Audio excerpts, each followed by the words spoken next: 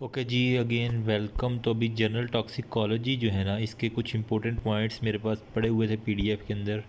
कुछ को मैंने शेयर भी कर दिए हैं बाकी जिसको नहीं मिले वो मुझसे ले सकता है और या फिर यहाँ से स्क्रीन शॉट ले लेना ना।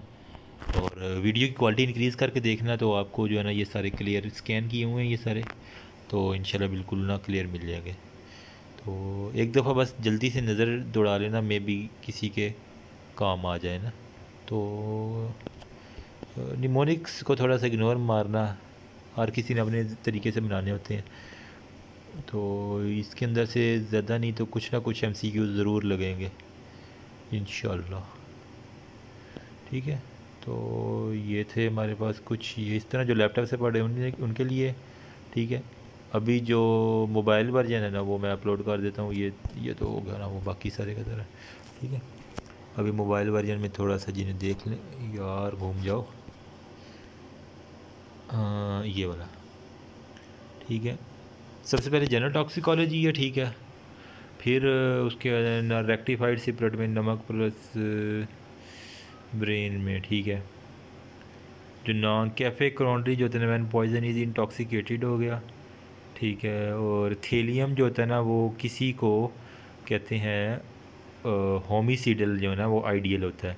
जो साइनाइड होता है वो आइडियल सुसाइडल डेथ हो के लिए होता है। हाँ इसी तरह था मेरे ख्याल में। ठीक है, फिर हमारे पास था जो यूनिवर्सल एंटीडोट है ना, यहाँ पे भी देखें।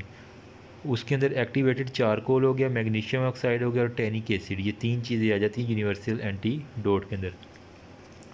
फिर हमारे पास स्पेशल टॉक्सिकोलॉजी की बात आ जाती है तो आइडियल जो है ना, वो साइनाइड वही ऑलरेडी है, जो होम्योसाइड है, वो थेलियम के लिए होता है।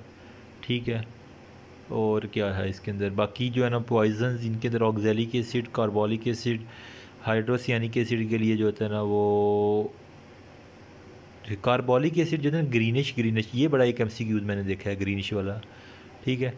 फिर जो साइनाइड है, वो ब्रिक रेड होता है आइडियल फार्सोसाइड हो गया, ठीक है? फिर कभी भी आपने कार्बोलिक एसिड के लिए आप ना गैस्ट्रिक लवाज कर सकते हैं, बाकी किसी के लिए नहीं कर सकते, ठीक है? फिर मरकरी को जिसे हम पारा भी कहते हैं, ठीक है, थर्मामीटर के अंदर होता है। इसके अंदर आपको जो है ना, वो मेटेलिक टेस्ट मिलता है और ये ग्रेश ग्रेश आपको सारे की सारी चीज़ें मिलेंगी, ठीक है। फिर विल्सन डिज़ीज़ के बारे में जो है वो कॉपर से रिलेटेड है सारे की सारी। फिर वाइपर वाला जो है ना, वो वेसल से है, ठीक है। फिर जो न्यूरोटॉक्सिक है, वो कोबरा हो गया किंग कोबरा हो गया वो सारे के सारे, ठीक है। फिर ब्राउन शुगर इसको हीरोइन भी कहते हैं, शीशा जो है ना इसे लेडम कहेंगे।